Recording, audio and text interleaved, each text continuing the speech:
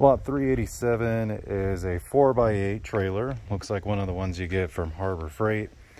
It does have plates and it is wired up. Uh, it's got the lights in the back.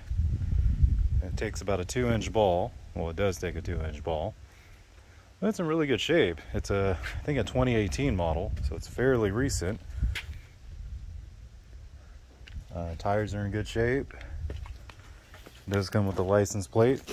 We don't have a title on it. We couldn't find one, but you will receive a bill of sale from the estate and all the paperwork needed to transfer it into your name. So this one's the only one that has a bill of sale for this 4x8 trailer.